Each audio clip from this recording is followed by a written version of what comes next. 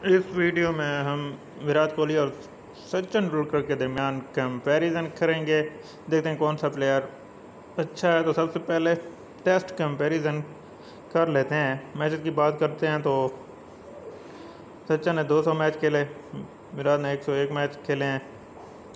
Run score Kohli के हैं आठ हज़ार तैतालीस पंद्रह हज़ार नौ सौ इक्कीस है। सचिन के बैटिंग एवरेज कोहली की तकरीबन पचास किया है और फिफ्टी थ्री है सचिन की।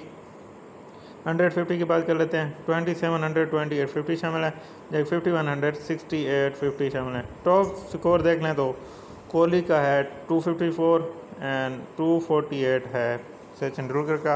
और इसके बाद कंपेरिजन देखते हैं।